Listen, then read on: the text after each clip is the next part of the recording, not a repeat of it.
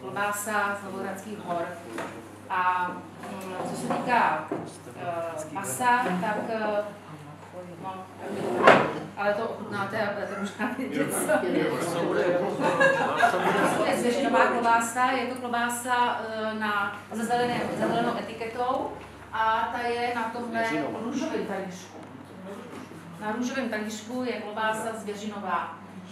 Uh, další klobása, kterou tady máme, je také zvěřinová, ale ta bude nějaká jiná, protože je hodně, jo, tohle je totiž z toho, hodně s masem, ne jelením, ale toho prasete, divočáta.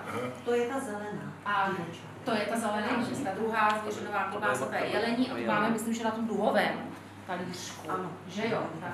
Na duhovém talířku máme teda jelení a na posledním, na bílém talířku máme prostě tu, takovou tu klasickou klobásu s tou eh, bílou plísní, zbytek koření a sůl. Takže opravdu je to samé maso, žádné náhraž, náhražky.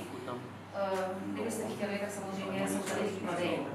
Jinak dneska jsem zavezla uh, nějaké další regionální produkty, jako pivo, pivo z Jílovic, pivo uh, od Zevla, uh, Zevl, uh, Zevl, a pivo Zevl teda.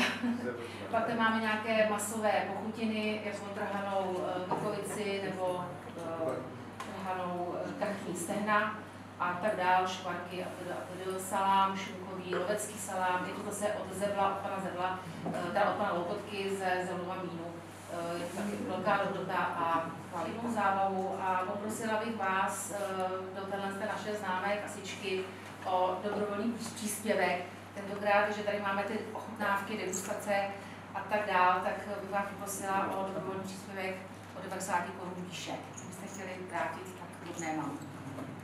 Tak já tady nechám. Už se se, kdo ty Michal ve spaní.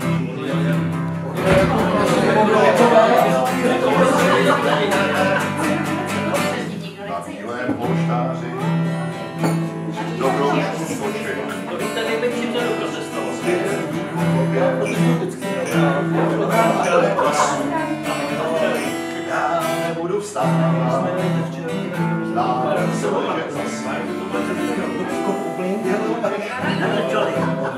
My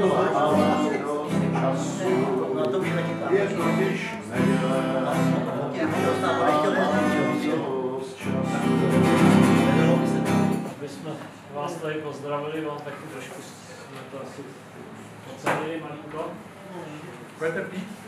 No, já to nepiju, já to vím, co děláme, tak já to nepiju.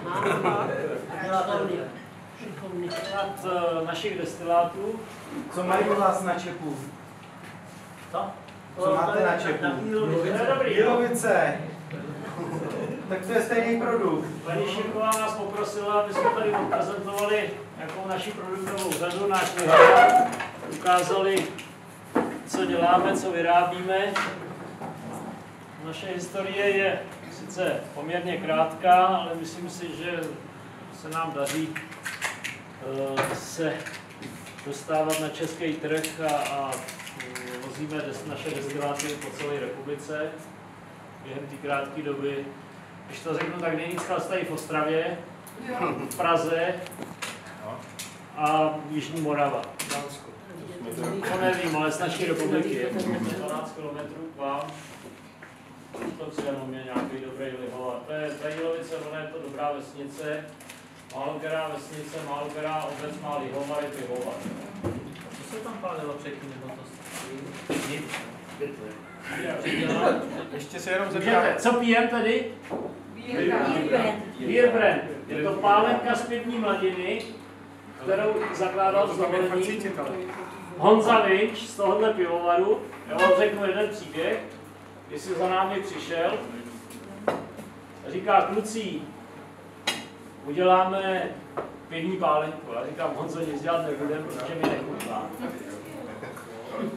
On říká, hele, já vám připravím, já vám připravím něco úplně dobrýho, ochutnáme to, připravíme, uděláme zákvas, mladinu, vlastní recepturu. Jinak Honza Vinč, když řeknu krátce, je tady jedno pivo, Jartarový ležák. Honza Vinč je majitel pivovaru Bílovicích, jinak je to pracovník výzkumného ústavu pivovarnického a, a dělal různé receptury pro neprémiový pivovary, jak on říká, takový ty Starobrna, Benešovy, Bráníky, jo, ne pro Pilsner, pro Budvar, ty mají svoje. Ale pro pivovar Ferdinand vytvořil pivo 7 kulí v Sarajevu. Jasně, no, no, no, to třeba jeho receptura. Starobrno, ten brněnský drák, to je jeho. Barvinč.